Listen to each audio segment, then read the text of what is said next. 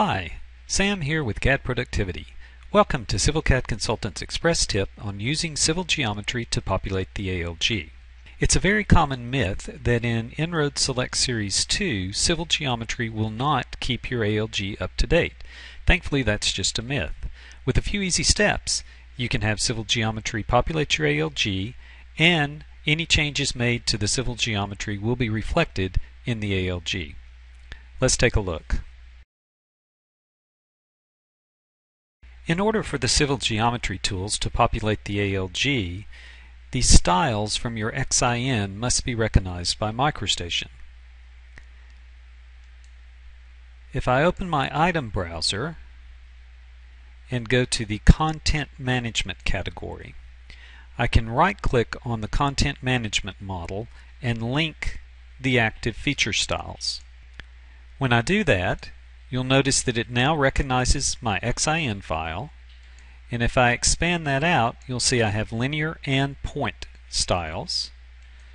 If I expand further for the linear I'll choose one that I'm going to use, the ALG Pro style, and you'll notice that it calls it a feature in MicroStation. My feature definition includes the native style that it's pulling the information from, whether it's automatically annotated as I build the alignment, what the prefix of the alignment name is going to be in the ALG, and the auto persist. The auto persist is very important. That's the one that needs to be set to true in order for it to populate the ALG. Now that it knows the styles, I'll go to my tasks and choose one of my civil geometry commands. I have to make sure that use feature is toggled on and since I have not set an active feature, I will choose the feature from the list. I'll create a simple line. Maybe I want it to be a distance of 2,500 feet. I'll accept that.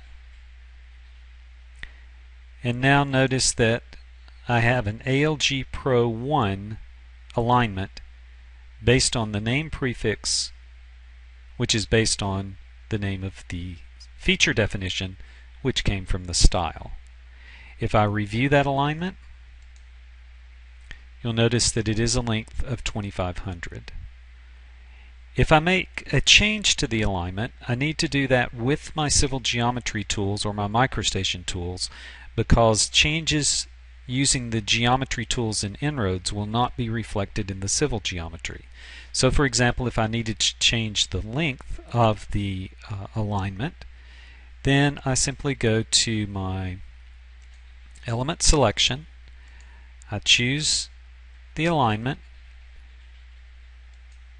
change the length, I'll change it to 3500, it modifies the civil geometry, and if I review the horizontal alignment, you'll notice that it is also modified in the ALG.